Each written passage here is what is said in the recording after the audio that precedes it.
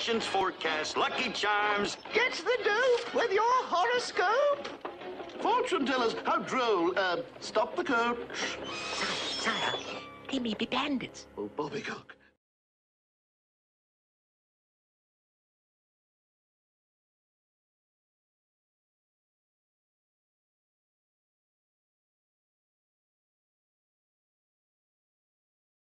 Welcome once again to the online fortune telling sideshow where I use Ogre Battle Tarot cards to tell the future.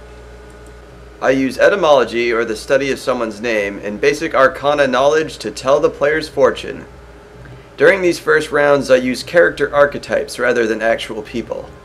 If you want one done for yourself, leave a comment with your preferred alias or name. Today's archetype is called the Judge. The judge is someone who calls on higher authority and uses sound reasoning to make judgments on somebody's life. However, is he ready for a judgment on his own life? Let's see. The first question is if a demon demanded your most treasured possession, what would it be?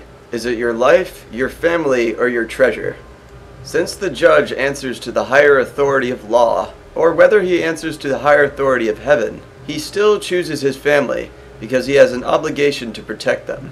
This is assuming that the judge is not allowed to lie about telling the demon what his most treasured possession is. The next question is, what character trait do you most lack when ruling a country? The judge, by definition, has a responsibility for efficiency in putting things into action, so what he most lacks is expansionism. That trait has the least to do with being a judge. Otherwise, it is a judge's responsibility to quickly and efficiently dispense with the law and put it into action. The next question is Is the night before a battle and you're looking at the moon, what are you thinking of? This question has the least to do with the judge, but it does have to do with his character. The judge needs to live to put others first in order to be a responsible judge.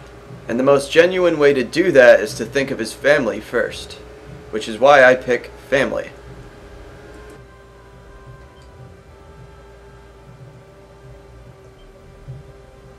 The next question is After a difficult battle, your army was defeated. What is the cause of the defeat? The judge cannot live by holding himself responsible and saying his own leadership was the problem. He can also not hold himself unaccountable by saying it's a lack of military strength. Therefore, he chalks it up to destiny. The judge lives by making decisions using powers that are beyond his control. The next question again says your army was defeated and forced to retreat.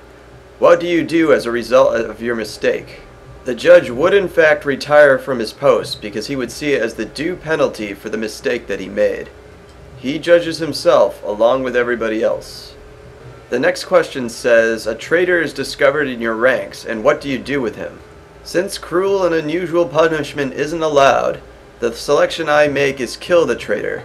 The judge would not forgive him by banishment, but he would execute punishment, and he would have the traitor put to death. And now it's time for the hand of fate to begin to do its work. Oh, incredible. Floating spirits.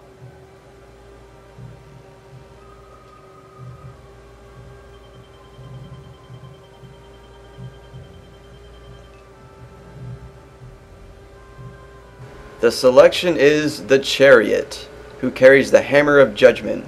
He does not get the judgment card because he is not the higher authority of judgment. He is the executor of judgment, which is why the chariot carries the hammer. Now, to prevent the readings from getting stagnant, we're also going to do the first three tarot cards you get on the first level. The first card is Death, which by itself means strength, and if it's not in junction with anything else, it does mean strength. However, it means strength bought with hardship. The next selection is Priestess, meaning you will encounter a mystery, but it will have positive results. He will meet a lovely female or a facsimile of a female, and it will be his road to compassion and possibly his lover. The next selection is Fool, which means luck, and in this case it's good luck. This is opposed to Fortune, which is completely random luck. And now it's time to see the strength of the party. Once again, the main character uses Ayanuki, which means he's best at physical strength and fighting in the front row. His main companion is a Valkyrie, a holy warrior. She represents the higher power he calls upon to make his judgments. Ultimately, though, he must rely on his own reasoning ability to see through his victory. This may mean that he seems to be a harsh judge.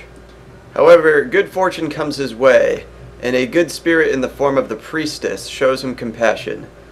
As an extra display of fortune, he quickly wins his first battle and is blessed with victory. And that is the conclusion of this fortune telling sideshow. Hopefully, it seems fun enough for people to start making their own submission. Thanks, and I'll see you next time.